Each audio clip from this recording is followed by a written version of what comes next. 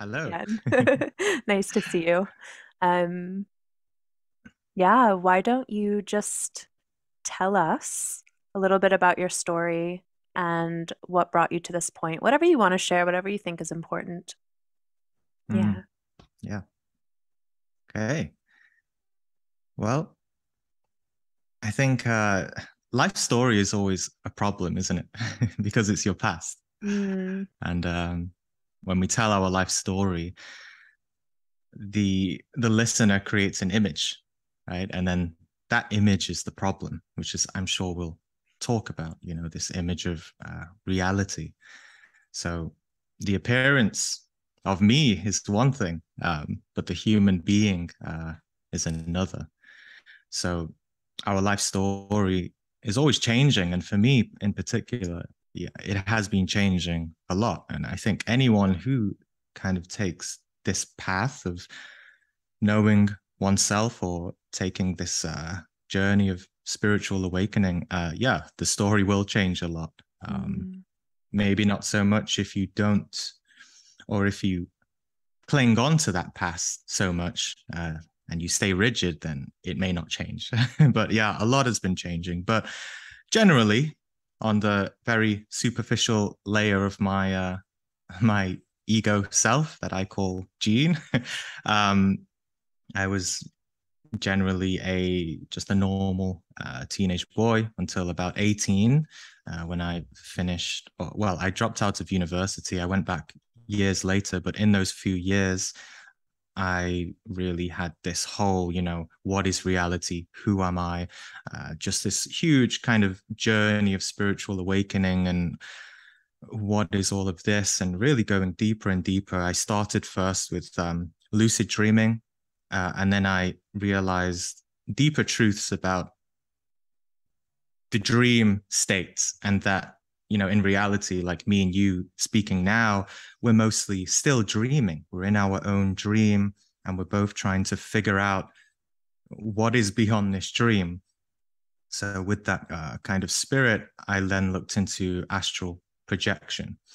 And i then i had a lot of success with that as well. So i had many lucid dreams but then I also then experienced astral projection, which was really, uh, which was good to help me discern that it really is not a dream. It's really something real, uh, information that you can learn and apply into your waking life. Um, yeah, I'm saying all of this very uh, in a short way, but a few years down the line after that, I find or I meet uh, a Mexican friend who introduced me to the Gnostic teachings, and I really just studied and practiced practiced with him for about five years, and that was just really deepened everything uh, a lot.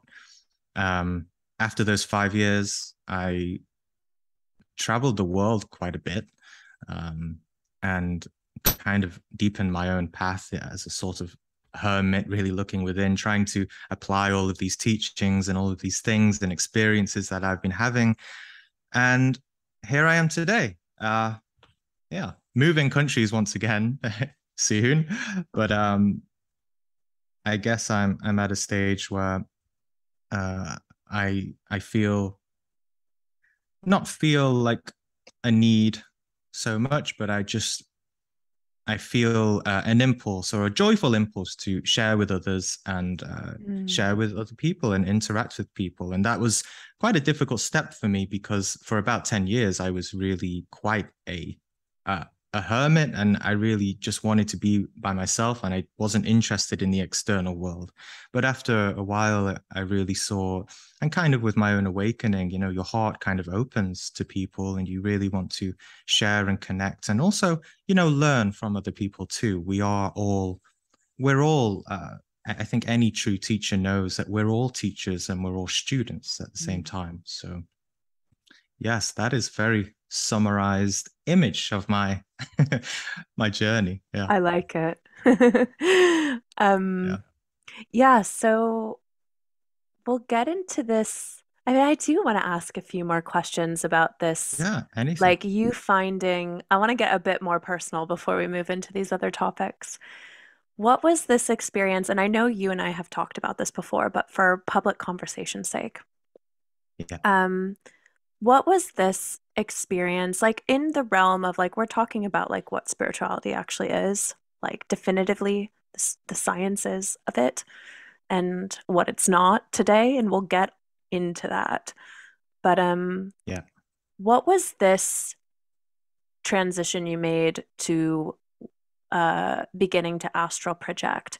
And also, do you mind just telling people the difference between lucid dreaming and astral projecting? I think a lot of people a lot of people do know from experience or have experiences and then a lot of people don't and I don't not that one is better than the other just Mm. so that we have clear definitions. I think this is also really important in the spirituality topic. Right. Yeah. And it is it is tricky and it's a sort of uh as you know, it's like a narrow way. It's a narrow way of understanding because dreams, the realm or the dimension of dreams is very similar to uh the astral realm too. Mm. And they sort of both take place in this non-physical aspect or dimension of our consciousness. So a dream, just to try and explain more simply, a dream is a place where we go uh, every time we go to sleep. And the environment which we see and experience is based on our own subjectivity or Right. our ego, right? And memories. And, you know, as psychology says, generally uh, we dream the same things and uh, feelings and emotions and thoughts that we played out in waking life. And it's just repeating it again while we're sleeping.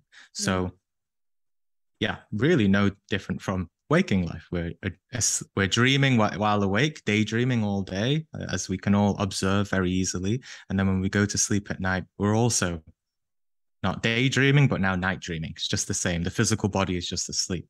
Right. So, And I, oh yeah.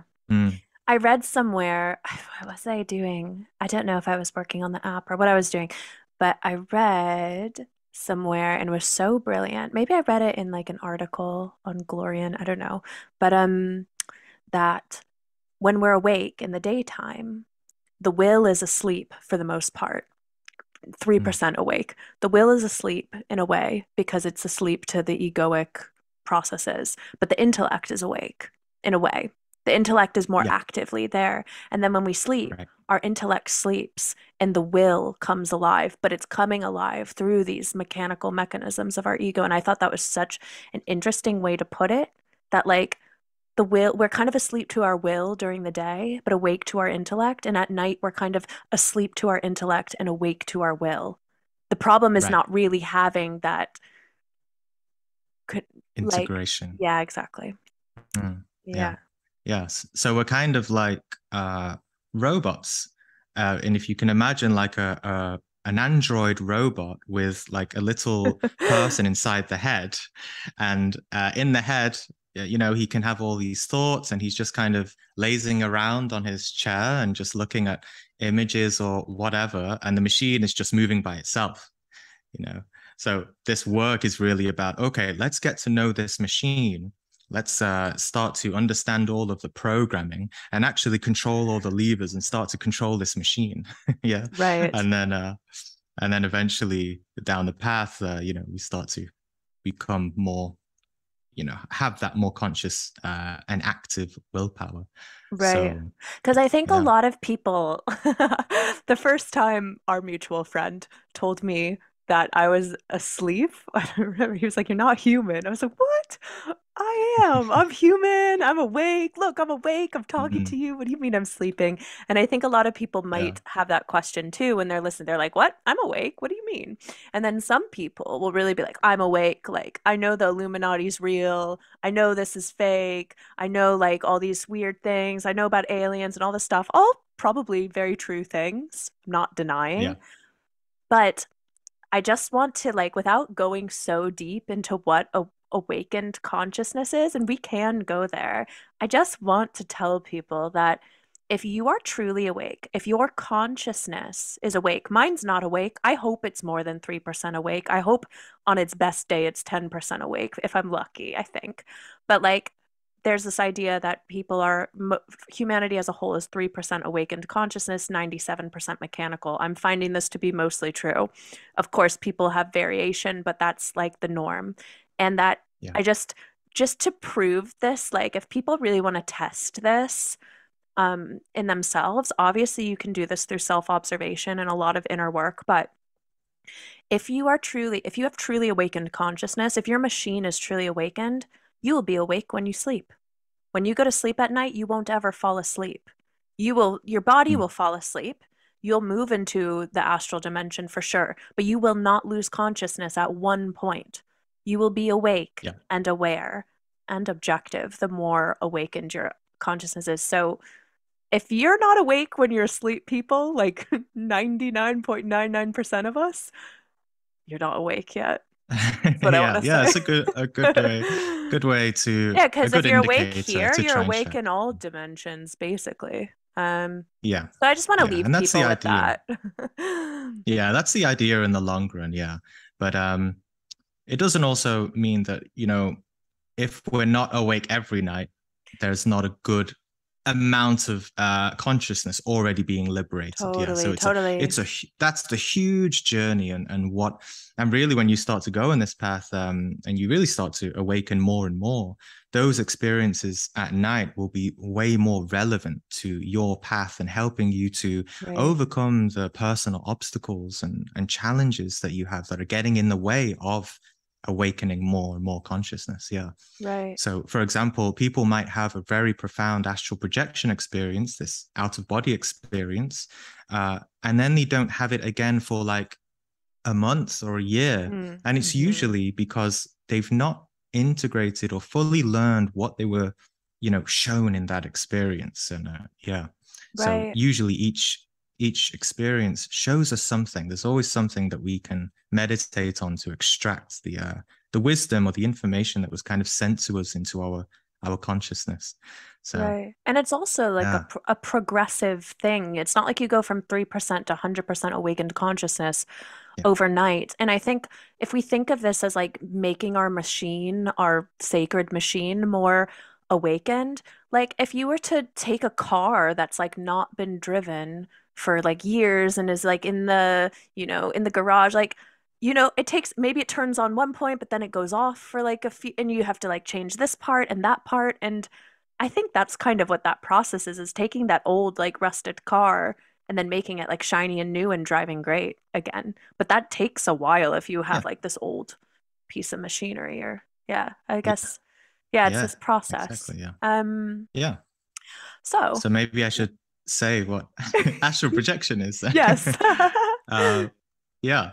So th- this is um, a reason why I like to commonly describe uh, lucid dreaming and astral projection all under this bubble of uh, non-physical experiences because if you can imagine you're in a dream or recall one of your most recent dreams um, or imagine you know where you are now if you look around this is a dream right uh, and your body, physical body, is just like asleep, and you're in a new environment, and you can feel that in the dream you can inherently feel that everything you're creating and seeing, if you're in touch with yourself enough, in touch with this human machine enough, you can feel that you're projecting this reality, this environment around you, and so quite an advanced practice uh, that comes with time is you can just in the same way in physical waking life, when you're daydreaming, you can just snap out of a daydream.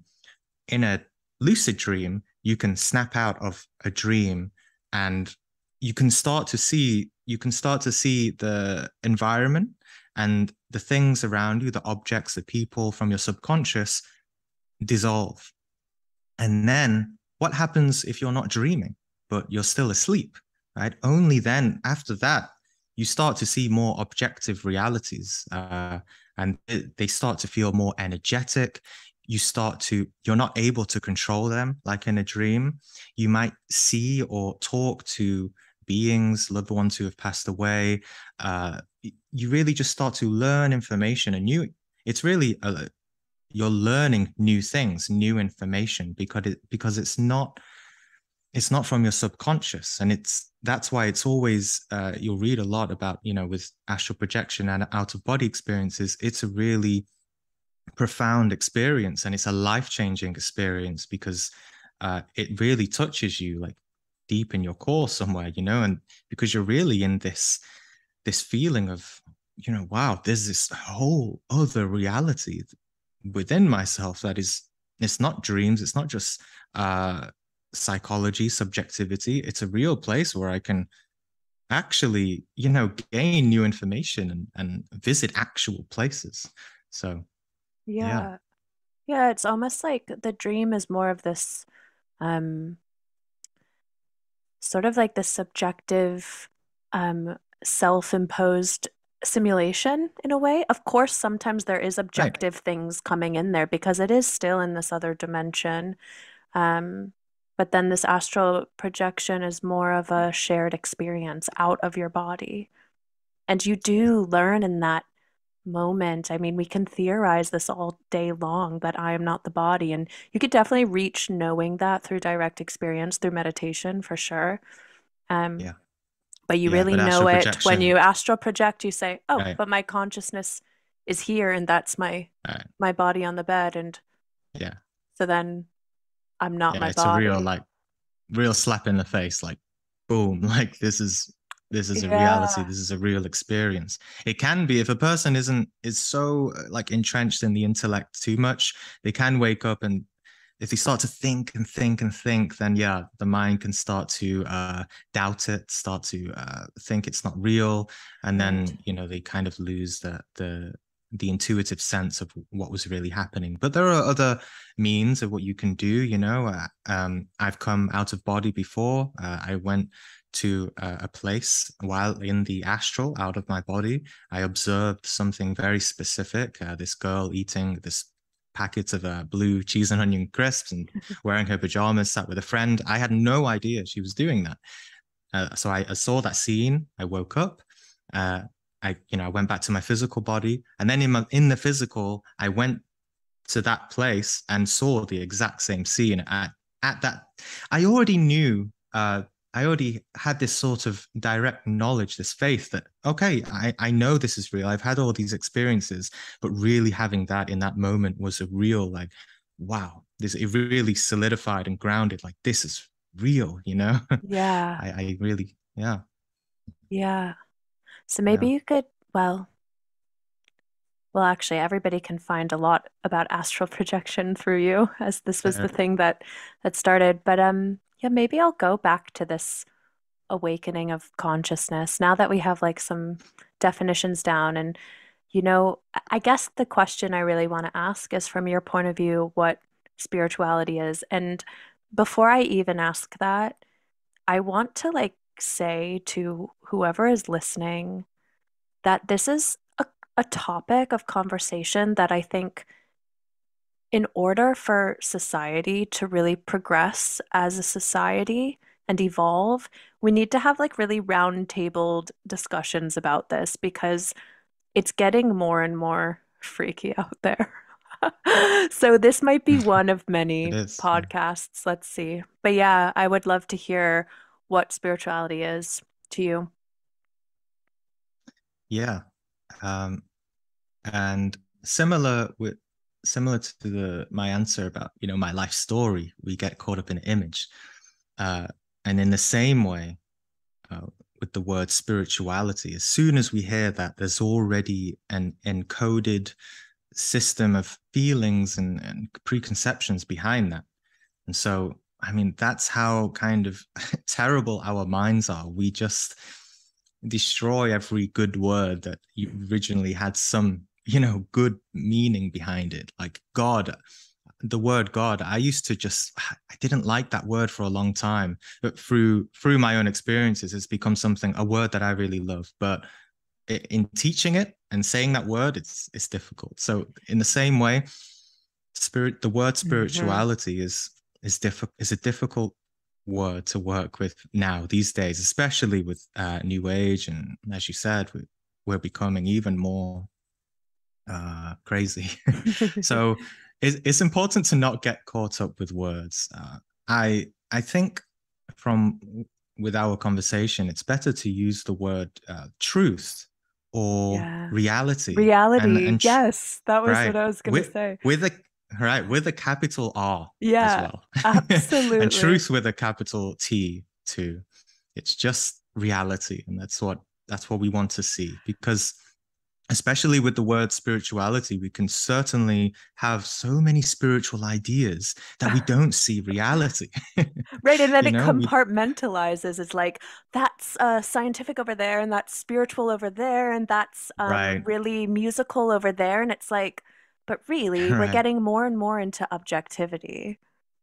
Right. Hopefully. Yeah. So truth and reality real truth it's universal and it applies to everything science religion you know every part of your life even the most mundane uh, aspects of a person's life so yeah uh, so that's that's the main point of real spirituality i would say is that first we do not see you know what reality is uh, right. and we don't perceive it at all and we don't we don't even live in reality as we said before we're like lazing around in our robot mind and letting the the machine, uh, the human machine, do its life, uh, but we're actually not even living it. We're not controlling our body. We're not we're not uh, in control of many unconscious impulses, and we're subject to so many forces that we don't even you know really understand. So we just we live in an image of this uh, of this reality uh, and and spirit spirituality is really yeah to discover what is actually real and uh, if we yeah. really saw reality from the great heights of consciousness from the great perspectives of of this place this sense this source or whatever you want to call it god or whatever most of us would not like what we saw and so we prefer to stay in the image because we're attached to the image of our reality or I, our ideas, whether religious, spiritual, political, or, or whatever. So, right. Yeah. yeah. Yeah. And I think that's a hard thing for people to grasp that and this like goes back to this whole like how awake you are like you know when someone throws this in your face and if this is the first time you're hearing this if you've listened to my podcast enough it's probably not the first time you've heard this but um yeah like the we're just so subject to like how often are you in the moment? Never almost never right? Like i'm mm, always like oh, i need to call this person and i need to do this thing and it's it's almost like I think it has a lot to do with our relationship to time and how we experience time as well. Um, everything is always subject to past or future, which is a very one-dimensional way to exist, right? It's it's literally one-dimensional. Um, yeah. So, and everything's colored by our ego, by our thoughts, by our past, by our our wishes, by our regrets, by everything that it's so rare to just see anything or be in the present or see anything as it is. And this, I, yeah, I just want to, this was just really, this is something I'm still learning and understanding and was really brought to my awareness about two years ago. Not just in theory, oh, be in the moment, you're right on it, but like the importance of it. Mm. Um, yeah. Yeah. So that's what spirituality is. And I think we could both agree because I also was like, I think it's the study of cosmic law and reality. It's a study of objectivity. So now we can go into what it's not in your perspective. we kind of covered it, you know, with the that spirituality is not what we think it is or what we uh what reality or what we think reality uh, is and we always stay in the image and it's always it's always to do with our detachments and always to do with our feelings and subjective egoic feelings about what we think you know spirituality is. So you know similar to to what you said it's it's all about staying in this moment and seeing uh, seeing reality because if you're far disconnected from uh, our your physical reality, then you don't really uh, intuit, you know, what is what is actual, you know, what is real, because you're too uh, concerned with lazing around in the head and not actually seeing, uh, you know, this actual reality. So, Right. yeah. Because I think Mm, up until two years ago, up until I was introduced to this new level of, let's say, reality, mm, I would have, I think if I were to ask this question, I'd love to hear what you, like maybe if you were asked this question like five years ago or 10 years ago, because for me, it, it would have been how many siddhis are on, how many, um, how tapped in you are to your extra sensory perceptions. Because to me, that was like the more psychic you were, the more spiritual in a way you were. But also, I also saw it as like a sense of groundedness and connected to nature as well, which I think is true. But what I'm mhm. understanding now is that it doesn't really like you could be like channeling so so-called sixth dimensional whatever galactic whatever and that's not that well I guess you could say it's it's dealing with other dimensions for sure but it's not it has nothing to do with awakening and reality necessarily it could Yeah, um I think a, a person can have psychic abilities and not be enlightened, you know. So right yeah, so we can be we can be awakened to to certain things, but not understand them as well. So Right. So there's yeah, this level of mm, comprehension that comes in. It's like seeing things as they are and also being able to comprehend them. Yeah. I think if someone's really able to be in the present moment, the divine present moment of this, of now, whether they're washing the dishes or having this conversation like we're having, then that is the most, that's kind of the pinnacle to me now, which I wouldn't have been able to say a few years ago. Because I too mm, was a bit lost in the new age in some ways, not really like lost in it, but like um enamored by right. it. It or enamored Mm, by some aspects of it. A lot of aspects I always was like, that's yeah.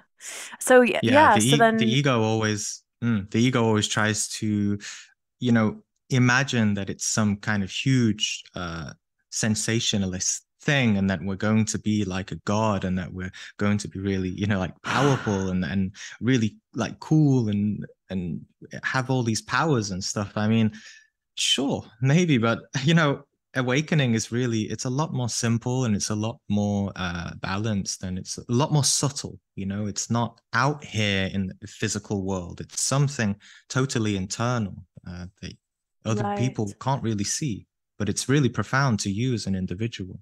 Yeah. right. So it's like the having certain psychic gifts or abilities is just it it's not symptomatic of enlightening. It's not exclusive to being enlightened. But of course, I'm sure if people do become enlightened and more awake, certain things will turn on. But it doesn't mean just because those are abilities are on that you are awake and enlightened. It's yeah. Right. Um Yeah. so so then let's yeah, let's talk a little bit about the pitfalls of Maybe like the traps. You just mentioned the spiritual ego and well, you didn't use that word. I'm using that word, but you did mention it. So maybe Yeah. the the pitfalls that you see at least today in like the modern modern day around this you're right, these words, this concept of spirituality, which is already problematic. But yeah, this world that's growing for sure, which is not a bad thing. So right now there is this immense opportunity for people to really see the truth and to really wake up and to really uh, awaken and see reality because of this huge uh, chaotic energy and because of this uh, absurdity, this growing absurdity uh, of this circus of of the material life and in every kind of dimension, you know, whether you see the media, uh, new age spirituality, if you look at religion, I mean, everyone's, you know, becoming more crazy.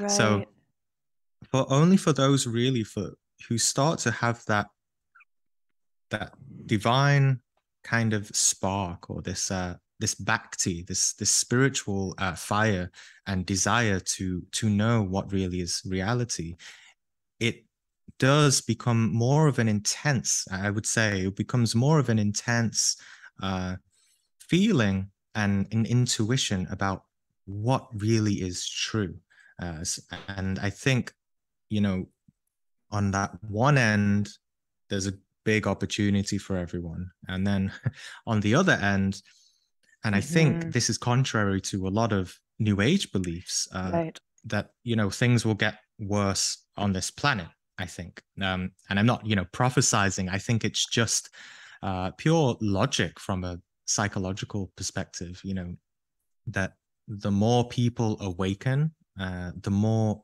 resistance there will be, because you know, really, we are at a time where we are being called to awaken. We are being called to balance out everything, um, but there seems to be a polarity on two ends, and I think before things get better, you know, there will be more war, more conflict, more conflict, more duality, because it's it's really like the universe is uh, throwing duality in our face and, and, showing us, look, this is duality.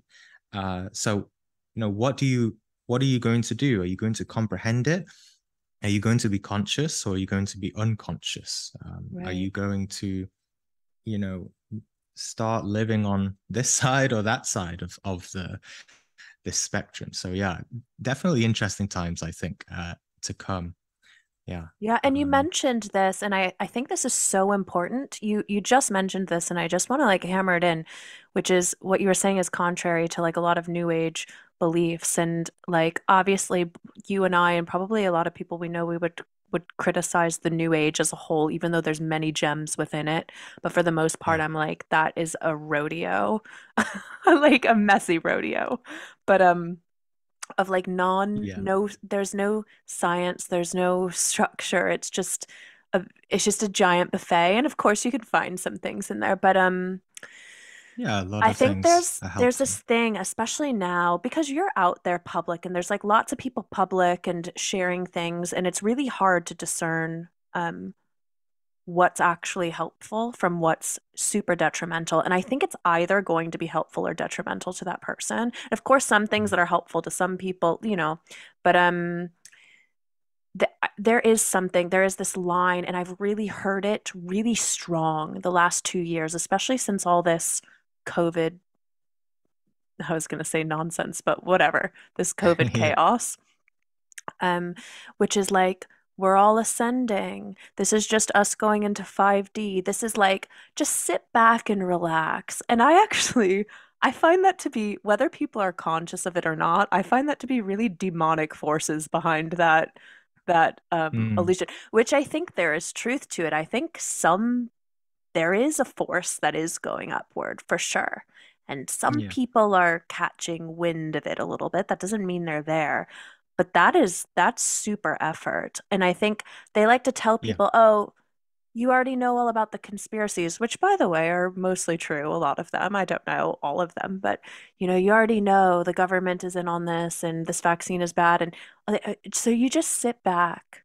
You just sit back, you know, say no to all those things for sure go protest in the street, if you will, which is also okay thing to do, and I totally Yeah. respect it. But you sit back and relax because you're just ascending. But but you're not That ascending that's not the remedy. effort.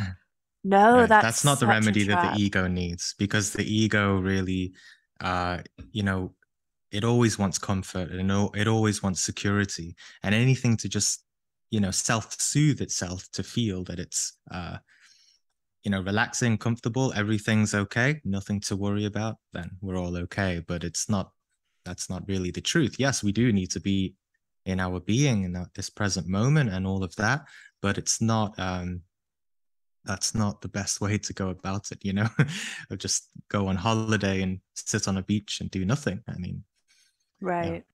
Like, oh, eh, and just kind of feeding people, like, don't worry, you're already there. I think this is so, what I'm saying Mm, is, watch out, people. Um, Yeah, Because also, the new age, like you said, is a beautiful place to wake up because there's so much nonsense. yeah, And right. and I think actually a lot of people will come to spirituality out of comfort in the beginning, but that could be their process to then seeing how nonsensical all of it is and then finding the truth too. So I guess each, everybody has their own path. And I think, you know, I don't know, they say this in some Gnostic teachings, before the Christ comes the Antichrist, or before before the truth comes the lie. Right. So Yeah, everything is revealed first. Yeah, before. exactly, like everything that's Right. not it comes first, and then Right. it comes. Um, Yeah. Yeah. So how is it that you see your role? Because obviously this changed for you, I don't know, a year ago, where you've been, Yeah, year know, developing for 10 years or probably your whole life in many lifetimes, but for all intents and purposes, 10 years of this inner development and then suddenly coming out to the public. So what's that been like for you, especially coming out to this this world where YouTube is full of people channeling and all this stuff? How do you see your role there and your responsibility? Yeah. Um, mm, it's a it can be tricky, and I think if a person's person's not ready for that, it's definitely easy to get more lost in all of that. It's definitely good to just, you know, sit your bum down for a while, some good years, and just listen and listen and listen. Otherwise, you know, if you try to go out there and teach too quickly, uh, you know, if you're if you're too doubtful of yourself or, or too, you know, scared of criticism, etc., then it's yeah.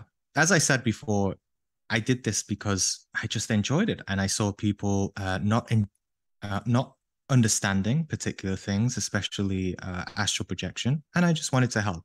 You know, so I think it's important for everyone to just enjoy, you know, whatever people put out in the world.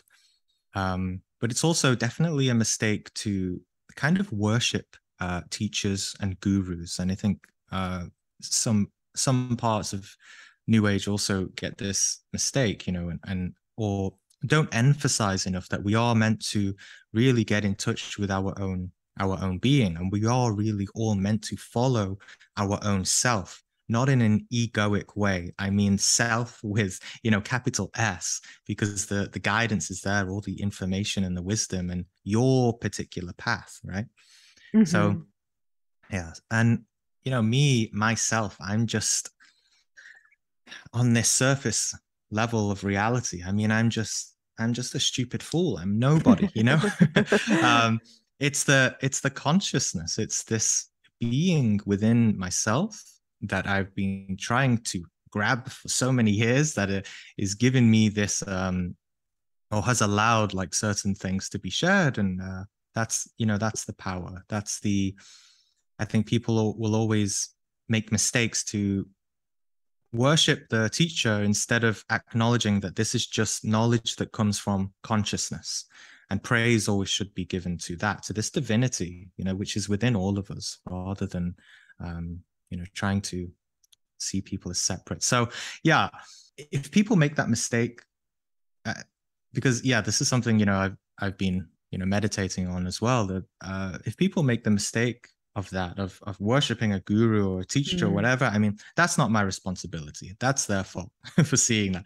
And i can say it as as many times as i want. People will always make mistakes regardless of what you say. So And also yeah. sometimes that's the person's path because I think we it Mm, it is right really programmed in us. It's really Age of Pisces, even more so Age of Aries. If people don't understand what I'm saying, I'm going back to like biblical times where the way the Mm, cosmic rays were hitting the earth at the time, and you can study this, is that um, you would be initiated by a priest and in their energy. And that's where this, like, the teacher, like, there was a time for not a worship of the teacher, but that the teacher holds the knowledge and they imbue it on you.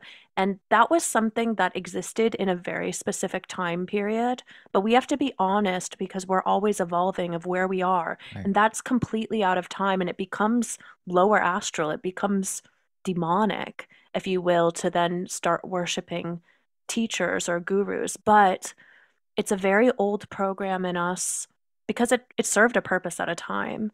But that I also think it can be a really important lesson for people along the way. And I think, I don't know if you've had that before, Gene, but I definitely had something where I put too much, um, not, yeah, we did talk about this once, where I had too much emphasis on a spiritual teacher where I really, I was, I was unconsciously feeding them my energy because I thought that they knew it all until I realized that I don't even know how I realized it. It was just like, oh my God, this person's a fraud or, and I learned a lot. Not a fraud, but you know, and and I I didn't wallow in the the betrayal and the is your upset. right Yeah. the main thing was your projection right that's the Exactly. And you learn and then and then you grow because you say, "Oh wow, I really gave my energy away to this person and to this spiritual teaching. It could be to the church. It could literally be that you're giving your energy towards Christianity or Islam or Judaism or Hinduism and you're giving it to the church or you're giving it rather than receiving internally. But yeah, what mm-hmm. how would you define a teacher then? And I know you're not well, defining yeah. yourself as that, but I would mm-hmm. love like at least for this time. Yeah. And I, I think definitely during this time now, uh, it is the age of following your inner guidance and following your inner master.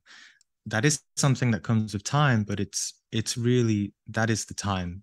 It's mm-hmm. the time for that, you know, for people to really look within and follow that impulse uh, in the heart. And um, it may be that uh, certain people uh, attracted into your life, certain even teachers or or you know i can you know I, I, can say in my life for sure that i've met certain people. Who weren't necessarily teachers uh, but they had something there to show me certain things whether consciously or, or unconsciously. We're all like puzzle pieces and we come together and uh, it all kind of benefit each other um, especially if we start taking this path. We, it's very common for people to lose certain friends uh, that they never kind of benefited from before, but then other people come in as well. So yeah, I think you know people make that assumption about teachers as well about um you know the responsibility that that teachers have that they think you know oh you may be leading them astray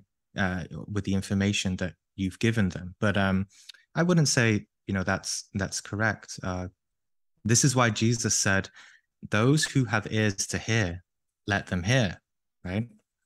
It's easy to argue as well that Jesus led millions of people on the wrong path too. But, uh, you know, and look at churches today. You know, is it his fault that churches are like that today? No, it's ours, right? so, yeah. yeah, yeah, I think people, hmm, people yeah. judge and, and scrutinize uh, teachers too much without without judging and scrutinizing you know themselves first. Right. Uh, it's an illusion it's an illusion that a teacher is in the hot seat. He's not you know the the student the listener is in the hot seat. Right. so whatever a teacher whatever a teacher says can be you know interpreted by just anyone. Um, and those who who know how to listen will really really hear what that uh, person is actually saying. And everyone as we saw we're mostly subjectivity, everyone will hear different things according to their path. And mm-hmm. we all have a, a set com- complexity or structure in our thought forms. And if we're not sincerely looking for the light, for the enlightenment of ourselves, then anything we hear from other people is just going to be darkness and nonsense and just more blabber. But if we are sincerely looking for the light, it's like there's just a little force where we we we just move all of that darkness and subjectivity and we can just hear that little bit of light. And if we just grab onto that and then take value in what that teacher is saying then we can really awaken you know? Right. so because i've i've made i've made loads of videos like it easily. Someone can totally start awakening them, their consciousness more than me. If they really hear and they start to listen uh, and awaken in their heart and, and maybe one day i'll learn from them. But so it's really this listening right? That people just don't know how to really listen. Yeah. Right. And i think it's yeah. this higher force. It really depends on what they're being what their inner buddha what the highest octave of themselves who's always working through right. us really wants. And i think it depends on how strong that force is for each people each person. And um I know this is like not something that people like to say in the new age because it's a place where people seek comfort, but like you and I can be real where not everyone is going to evolve and not everyone is going to um hell I don't even know if I am. I I hope so. I feel like I'm on that path, but I I don't know for sure. It depends on how much, you know, it I don't know from the, I have a feeling that's my direction. At least, like, at, yeah, at least for now in this life, we can. I think everyone can agree that the majority of people are going to go to their grave miserable and unhappy and not really understand and have any self knowledge. right. at least for this life, you know. But I think the yeah. reality doesn't really hit people because oh, I'll just reincarnate and do this stuff. But eventually, you will mm. devolve mm. down into animal form, back into mineral, and come back up again to you know over millions of years to reach this point. Like this is i think this is what i never understood until recently is that it is a privilege to be in human form right now and you will right. not be reincarnating forever. I'm still learning this to to be true knowledge. It feels really true. It makes sense to me. It scares the shit out of me but so i can't say i know directly like but it makes sense basically. We're um, given right we're given this life from nature and, and you and will go back really, yeah. Right and as a general rule if you don't if you're not appreciative and grateful of this life if you don't enjoy this life you won't you you generally won't be able to enjoy or discover the higher realms of life. You know this is physical reality and then you have the astral mental causal. Like if this ha- right. the physical has to be aligned. And so that's another thing about uh new age spirituality. It usually it's like it's kind of rebellious like oh you know let's ignore all of the physical world like that it's not about ignoring the physical world. It's about totally uh, integrating and becoming balanced and uh, having this union with the physical and not ignoring any aspects of it at all. Yeah. Right.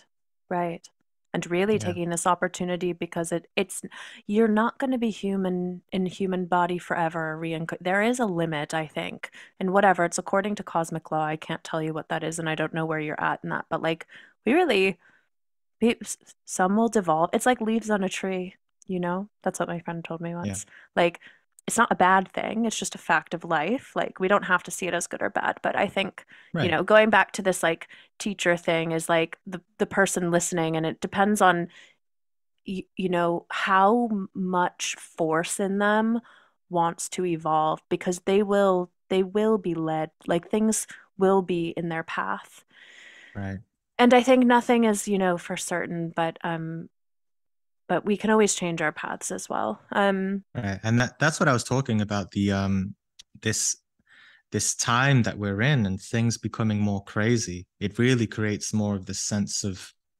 this sense of uh, urgency of okay, I really need to figure this out, and you know totally. that's why people are more and more having this you know these awakenings or this desire to to know, right? Right. Know and that's with a like, capital Okay. exactly. No, yeah. gnosis, direct experience, really understand reality, really comprehend it. Um, yeah. But I think that's what, you know, coal is made into a diamond under pressure. And also, I know mm. people, I have many good friends who have been addicts in recovery and they're, you know, in different 12 step programs. There's a lot of beauty to those programs too that I've learned a lot through them. But they would always say, in order for an addict to get better, they have to hit rock bottom, and everybody's rock bottom is different.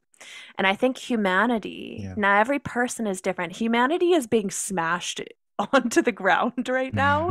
like, you know, like yeah. it couldn't, but some people don't feel that pressure until later. For me, right. it's like, I guess you could say I felt it my whole life, probably you as well, but the, especially the last right. two years, it's been ago. like momentum. And I think that's me feeling that pressure in the last two years is direct uh, reflection of the pressure in the last two years that humanity's under the the kind of um, velocity of it i guess you could say. But yeah going back to this teacher thing i really like this idea. You uh, this idea that the, a teacher is not a master. First of all there's a difference. And i think we're living in an age with a lot of teachers and also a lot of false teachers but I think in this day and age, and I'd love to hear what you think, that a teacher is someone you should eventually outgrow. And maybe you can be friends with them too, but nobody, you shouldn't ever keep that dynamic forever. I mean, maybe in some cases it really is like that. But I think we're here to show, and we're all able to teach something. We all know something. Like I would argue, I know you would never say that you're a teacher, but I would argue you teach quite a lot of things. Um, mm-hmm. But also, my favorite teachers that I know of, and I would definitely put you in this category as well, that they are also open to making mistakes and having discussions about it. Like you're not going to find a perfect teacher here. And I think that's really beautiful to have that that honesty. Yeah, yeah. Yeah, I don't think um I mean for teachers who do kind of believe themselves or act really in this role as a teacher is really not a true teacher you know because a true teacher still is learning from everyone and also from themselves and this path is completely infinite. If you think you've made it i mean I'm most uh, likely you've not right you've not made it. So and you know i'm i'm not all like perfect or i'm not like all popular as well. Like you know i had many many messages of, of lots of hate and lots of uh, beliefs and dogma and things like that sent to me. You know, people will always be like damaged by what you say, and um, it's not really the the teacher that uh, who hurts them. Uh, it's the there was already hurt in that yeah, person. Exactly. You know, you just the teacher the just brings that's it been out. hurt. So. right. Yeah. So um, I think teachers and student relationships are quite natural. As long as the teacher doesn't isn't always like acting like a teacher the teacher will be able to see that or recognize if the per, if the if the student is really growing. They'll see and recognize that that person is kind of become you know like an equal uh, or some parts of their being is really even more developed you know? So yeah as i said before we're all teachers and and we're all students um right. Yeah and, and, I, and it's yeah. it's really mm, it's really important for all teachers also to just be i mean I, this is something i always remind myself just to be completely detached from this whole process and teaching and just sharing is the way for you to really the person to really like me myself accelerate my own process too um, and because it becomes a little more intense as well, uh, especially when you're working with all of the egos and the questions and everything. You know, a real awakened person does not live out here, you know, in the mm. physical world. They live internally. Um, in, you know, in the Gnostic teachings, it's kind of said more literal, like they live in the internal worlds, meaning they're just totally detached from external reality. And it's more, it just external reality and physical reality becomes more of a play. It's not as it's not as important as we think it is before we were awakened, you know? Yeah. But, um, it, it's it, what is internal is more important because after all, this humanity, this world we live in, has been manifested from our internal or our collective internal, and everything comes out of out of that. But we just don't see this internal reality and therefore we can't change it. And it's not a matter of just thinking about it or even having like elaborate discussions. It's just more about very simple awareness. The more we're more aware we are the more we see reality the more natural it is for just consciousness to grow for uh, humanity to transform or individuals to transform in a positive way. Uh, and um, yeah it, it will be all all we need is just awareness simple awareness and just yeah. acceptance no judgment and uh, it's very natural really we can speak so elaborately and have these great gnostic ideas and everything but it really is in a practice and in a person's individual experience it is a it is a beautiful process and it's not uh you know all it's not all pain and suffering and oh this life is you know really horrible you know you know yeah. yeah. I think if we're not laughing too, like, I mean, the world can literally right. be like, I think honestly, a comet could be coming. I'm not saying to like just write a meme about it and not pay attention, but I think you have to be able to find humor in all the time. Like, that is, yeah. I think that is a trait of enlightenment. What do you think? Like, that is yeah, becoming like the child. Yeah. Like, so, honestly, sometimes people will message me um, and they're so serious and they say and sometimes i might like put like a, a laughing emoji because i just find what they're saying so hilarious but then they say why do you laugh? That's not good. That's not a that's not what a spiritual teacher should do. Like you should be serious. I'm like, okay i just act very serious and just try to help this person. But really you know it is it is all of this kind of uh cosmic play this this yeah yeah. we need to laugh. Yeah. Yes we do. Um I this is like I'm this is just speculation, but I'm really curious to hear what you think. Where do you think spirit like what will the word world look like in terms of all this that we're talking about in like the next generation or so? Where do you see spirituality headed? The good, the bad, and the ugly, like all aspects of it. I'm just curious. I think there will be a very a good number, uh, more than maybe there ever has, of real, genuine, like underground people who really live from the heart and they really know the truth and they're just so sincere and so honest and they're to- in total acceptance of all the ugliness of humanity, but are very happy people as well. Um, and I don't know what percentage of people that will be, but I would like it to be like 20% at least, but definitely below that number. Um, and then I think the majority of people are still going to be in this uncertainty and more anxiety and more be like feeling like a like a just a, a maniac, you know, not going around in life, not really understanding. I think it's becoming harder to be a normal person and live a normal life. I think that those that feeling of this this sense of urgency to know oneself is becoming is becoming like a it's like the divine mother and father is just kind of nudging everyone like look the deadline is coming the homework yeah. we all need to start to awaken yeah. and then so those are the sincere kind of people who don't really know and they're just in the middle um yeah and it's it's it's difficult. But then I think there's going to be a, this real, a kind of a maybe a scary amount, a big group of people who are going to really become like radical extremists with very powerful ideas and ideologies and uh, probably very spiritual ones too and uh, i know you're interested in like transhumanism too and not not that you not in, I'm you, not an advocate. Yeah. Interested yeah, in the topic but, um, in a freaked out way.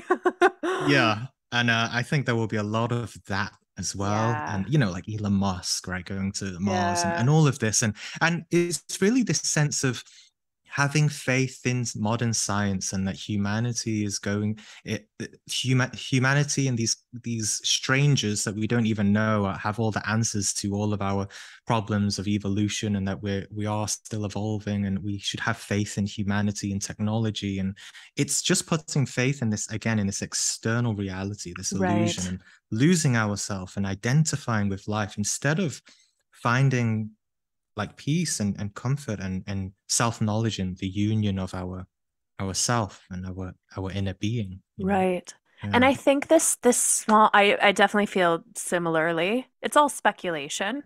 Like we yeah, don't no right. one actually knows. But um yeah. but certain patterns are obvious. And i I really feel, yeah, that I think spirituality in terms of serving the ego and trying to astro like a lot of black magic, but I don't mean in this old way. I mean like merging with machine and to yeah, you know, I think will be really Right. popular this sort of open-ended, unstructured spirituality. Oh, it's just channel these entities. I think that will almost be the majority of the world. And then I mm-hmm. think this underground kind of energy, like just, but powerful, of people really developing their.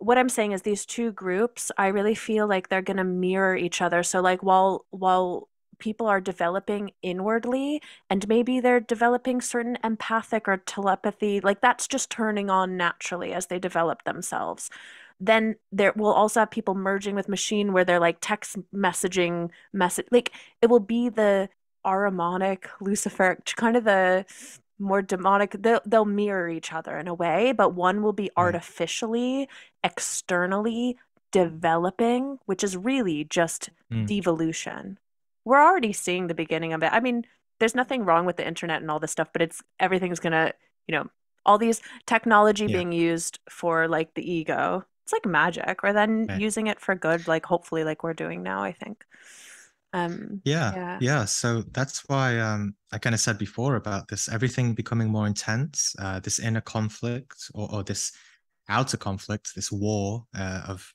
of things kind of people choosing their side you know you're going to be conscious or unconscious and what are you going to give your you know what are you going to give your uh, kind of faith to? And uh it's also this is also a reflection of what's what's it's the inner process of our of our awakening as well. Within each one of us, we do have this war of this kind of conscience of you know this good and this de- uh, the demon and the angel on our on our sides. And um and there's this sort of uh army within us of of of you know the battle between uh, consciousness and unconsciousness. And and whether you know which side are we gonna are we going to take? Uh, somewhere in the bible you know about it says about you know either be cold or be hot but don't be lukewarm you know yeah. don't be don't be fickle like choose your side you know so this right. is what i really love about uh, the gnostic teachings as well is that it doesn't just tell you like you said about uh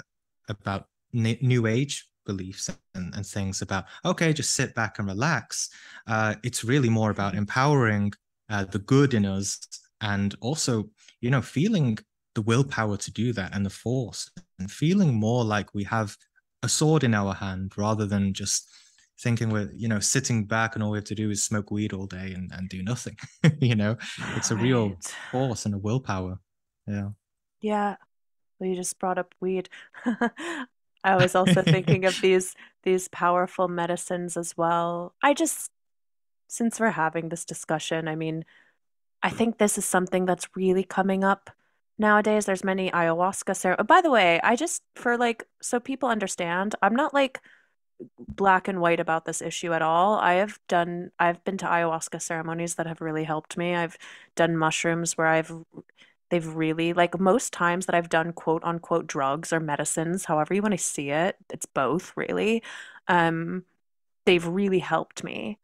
But I do see the danger, and I'm watching a lot of devolutionary processes take place. I can't say for each person, just that string of energy around this. And I think it's getting more and more popular. And I think there's a lot of potential for good too there. But I don't know, maybe you'd like to speak a little bit on these master plants or. Yeah, I mean, um, I've uh, when I was in university, uh, like ten years ago as well. You know, I, I took things, um, and it was it was yeah, fine. I mean, most of the time it's really just, you know, recreational, right? And just kind of having fun. Um, you can use them for, you know, trying to gain another perspective in life.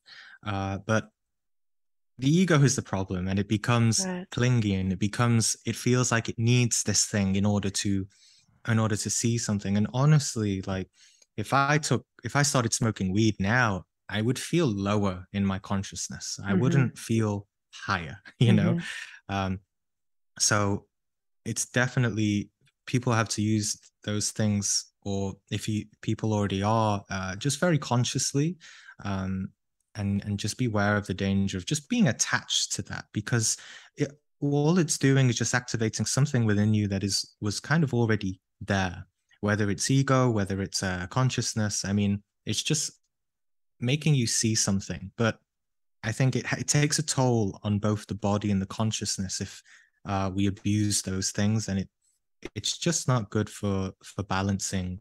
If you really want to kind of take this path, it, it, it brings you out of balance. You know, there's this the come down, right? And you just uh, yeah, it's not um, it's not right. good long term. And hmm. they're called medicines, and you don't con like if you have a cold and you take cough medicine, let's just say, just to get over it or whatever, not that I'm advocating that. I think there's better ways to get over your cough, but let's just say you don't keep doing that all the time.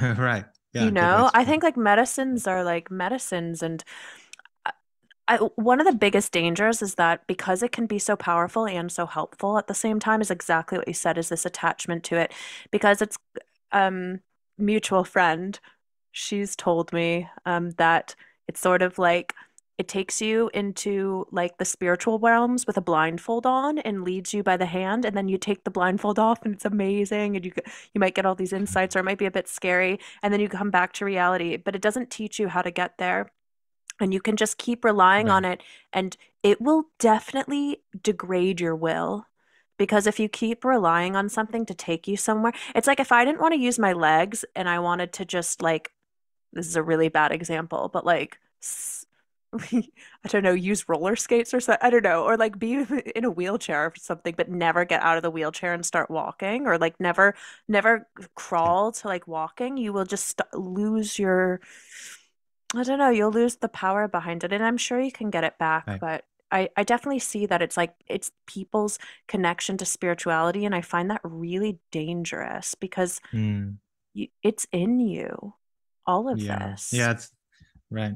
Yeah. The the uh, symbolism I've used uh, a lot is using those drugs as that crutch for that um, is like getting into a spaceship and the spaceship will fly you out into space and you're in the back seat and you have no idea where it's going and eventually it just crashes on a planet somewhere and you you're just in a daze right drunk. Right, uh, but it but real spirituality real really finding that path developing your own world is about building your own spaceship driving it you know going to the destination landing safely and uh, yeah And also knowing how the anything spaceship works and being able, because I think yeah if you haven't actually developed your astral body, you haven't developed your energy bodies, you can be led into these spiritual energies and get a lot of lower astral stuff and think it's the truth. Oh my gosh, this plant medicine mother told me that I'm meant to be singing in the streets and this could help people and all this stuff. And it's just feeding some desire. It's not actually the truth. And I think we also have to realize that like a lot of the visions and stuff we have when we haven't actually developed ourselves inwardly and haven't actually awakened consciousness are not necessarily objectively true. They could be right sometimes and be helpful, but yeah, I think it's important to share with people because I think it's good to try things and explore things when your being says it. yeah So it's not a black and white issue, but it's right something I'm really seeing the dangers of happening as well. yeah Um, kind of a big topic, but one that you've brought up on your channel, one that I think is really important. And yeah, we don't have to go into such detail, but maybe, is how um, sexuality connects to spirituality. Because I think actually, you know, for many years, this is what was, I was looking for someone to make this connect. I knew it was connected, but like nobody really Mm, could it wasn't until two years ago that I was really shown this connection. So, yeah yeah, I would love to hear, yeah, what you have to say on that.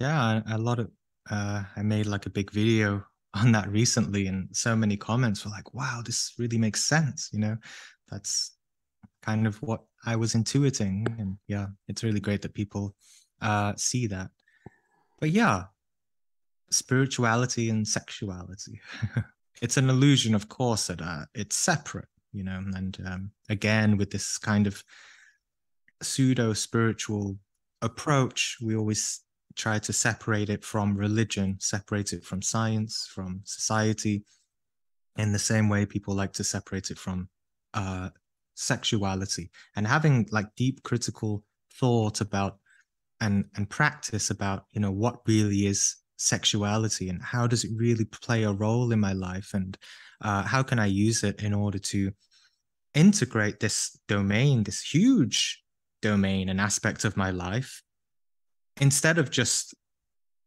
doing all the things that humanity does with sexuality, right? So we've we first have to recognize that we've made it this separate thing, this like hidden toy in the box that nobody speaks about, um, hmm and it's it's either very repressed or it's a very uh, what's the opposite of repressed? Like express you know very expressive and very out there. And there's no there's no balance. And really these uh the teaching of the you know alchemy uh white tantra or just sexual transmutation is that narrow way. It's that middle way of fixing and uh cleaning up all of this uh this energy within us.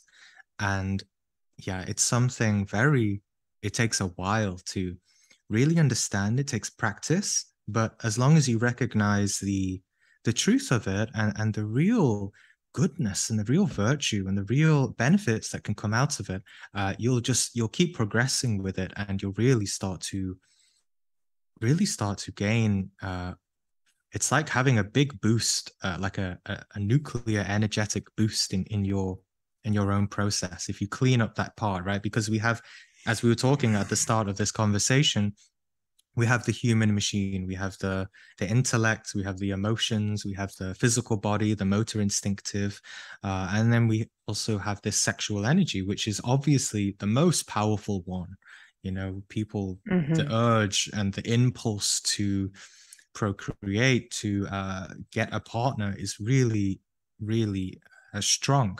And so mo i think most of spirituality and most of really uh, like science anything people don't believe or they don't feel that this is something that they can get a grip of. And usually in kind of older schools or gnostic schools or cult schools or whatever uh, this was or like even buddhism this was something that was taught after someone had advanced to a good um, a good level you know Right.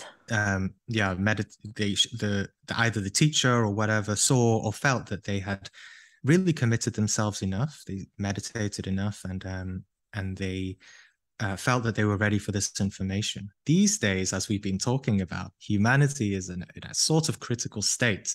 And so that's why this information has been allowed to come out now and show people. And anyone, again, anyone who has the, uh, the ears to hear and the eyes to see can follow it and practice it. And uh, yeah. Yeah. And I think also realizing, I mean, I come from this astrology background. And this is not like Instagram astrology, which is also funny as well with the memes, but I mean, like, actually, this cosmic kind of Rudolf Steiner Theosophical Society, you know, really setting up uh, understanding time through the cosmic rays, basically. And the age of Pisces, which we're coming out of, is all about obscuration and um, things being hidden and illusion.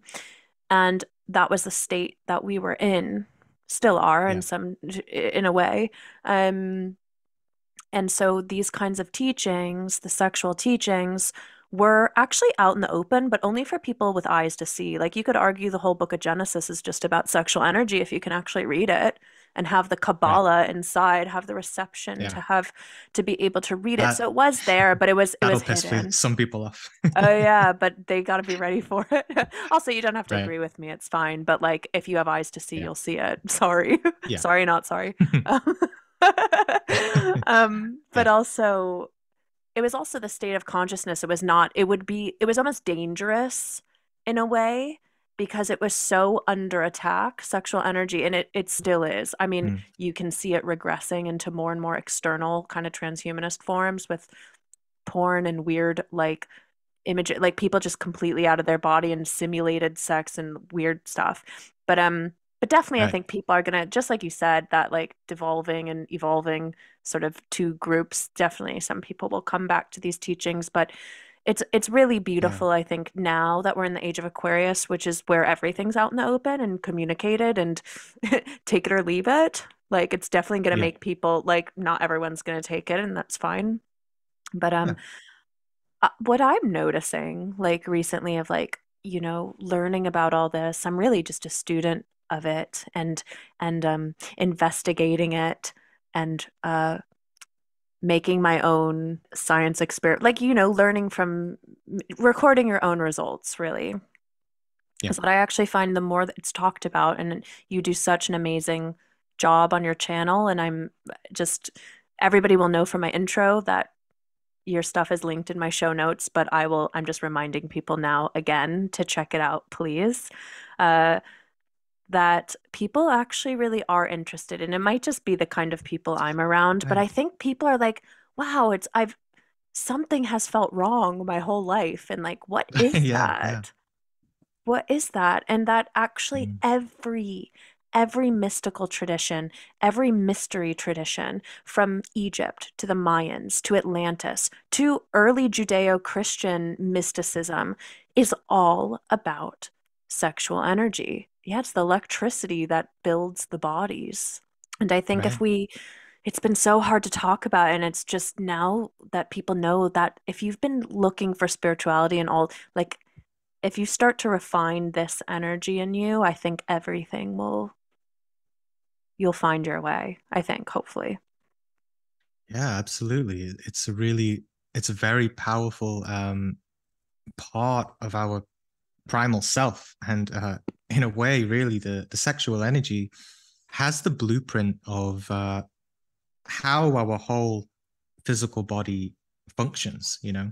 Sexual energy is kind of this uh, battery in at the bottom of uh, our our body. And it it gives rise to the different electrical impulses as to how we how we you know act and feel and react in the world and uh, whether that's in a negative way or a positive way. So to really work with that energy is to really work with the deepest part of ourself you know like if you if you're trying to build a house if you build it on like you know sand and it the you know the sand is just very uh flimsy and it, the, the house is going to fall you know you, you you keep trying to meditate you keep trying to uh, uh learn astral projection uh, but you're building your hat you're you're focusing on the top part right but if you focus on the deeper parts and you start to work then mm-hmm. you can mm. really start to build this foundation uh, mm-hmm. foundation the sexual energy also being uh, known as foundation in kabbalah as well right so yeah yeah it's really our currency of I guess you could say it's like our spiritual currency of our energy of our soul, spirit, really.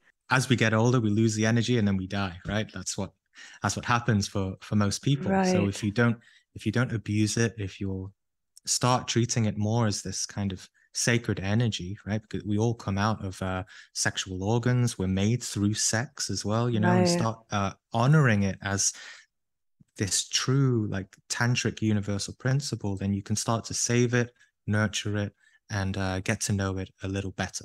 Really get to know this part of ourselves that we've repressed for like thousands of years. Yeah. Right. And someone and yeah, I think we have to remember when people are getting into this that that um we are like when you start to really work on your sexual energy and this is a science by the way people like Sorry. that you can i, I don't know listening to you i'm putting the light on oh nice yeah i'm like in candlelight but um when when people are just getting started with this i think we have to remember first of all that it, it really is a science. We're not just talking about making sexual energy sacred. There really is a science that people can go find out about and discover and re- yeah. and don't believe us. Don't believe what you read. Go experiment with it and record your own results. You will see it's a science um, most likely. And maybe that science yeah. works slightly differently for different people but more or less it's a science. And we have to remember that when you start working on it back to what is actually normal not common but normal is that we realize we've been in um, i don't know thousands of years millions of years process of it of a regressive energy of sexual energy of it um, fraying and devolving basically so it's okay to be easy on ourselves when we start when we're like what was what world was i born into where this is the norm and so i think we have to remember right. when you start working on it how first of all how amazing it is because it's uh you're really reversing some million let's say millions of years of this process going down down down and reversing it back up so it's a big task to take on, but it's definitely worth it. And I'm just in the beginning. I don't know much, but but I do know that this is true. Um, that this is a true science. Right. I know that much because I have recorded my own results, but I'm still finding out more about it, and I'm very humble to it. I or I try to be. Maybe some egos are not, but um, I try to be. But um, yeah, I, re- I really right. think it's the missing piece. Um, yeah, and it's out there for people to find and um yeah, good luck basically. um is there any more is there anything else before I go with maybe my final question? Is there anything else you wanted to bring up or any final thoughts before um, I'm not sure really. I think uh, I think we covered a lot, right? And, we did. Uh, and I, yeah it's definitely i really do believe that when people recognize the the truth and really like you just said you you know it's true and it's uh, really something that you're going to explore more uh, experiences and uh, knowledge and people and all the right things will fall into place because you've been developing this will to know and this desire to know, right? As we've been talking about in this conversation. And um, you know, the the highest, as we you said uh, at the start, this willpower within us, when we start taking back that willpower, you know, and when we start taking back our thoughts, uh, we really do start to. It's very new age, like uh, you know, new age wisdom to say like what you think you attract but it really that is really it's the truth as well yeah, you know totally. you, re- you will really start to you know the past 10 years has been just if i never took this path i, I would my life would just be completely different and so many synchronicities and meeting the all the people that i've met along the way and the the information and uh, just every book, new book that I just seem to randomly pick up, just has all the answers for me. It all comes eventually, as long as you stay in faith that nature does have this science and this mm-hmm. very particular way to to help you and and in your with it with your inner being too and uh and not be doubtful too much and not be confused. I see it in my kind of field of you know so many questions and messages, the main culprit is really just fear, fear of the unknown, uh, doubting oneself too much, overthinking it too much, and always trying, letting the ego mind always think like, how is this going to happen? I don't want this to happen. I I really value this belief or that belief. And you know, we're trying to go beyond beliefs. So trust that whatever will come is going to be exactly right for you specifically and mm-hmm. realizations in the consciousness is always a much deeper source of happiness than any ego thing that you thought was that you always kind of cling to onto in the past you know so right. yeah trust in the process yeah yeah. Oh, beautiful. Thank you for. I was going to ask you what your final piece of wisdom is. I don't know if there's another final, I, I but that was pretty good. Um, yeah. Yeah. But yeah, thank you so much, Gene. It was so nice to see you again. Last time was in person. Um, right. And yeah, I, I'm definitely going to mention all your stuff. It's really amazing what you're doing. And I'm so happy. I might even link some other people that I think are really worthwhile. Um, I'm gonna, you know what? I'm gonna put a whole list of resources in the show Yeah. notes with yours at the top. I send people like very specific videos of yours all the time.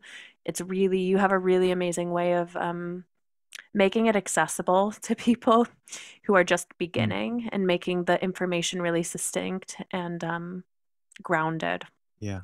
So Yeah. thank you.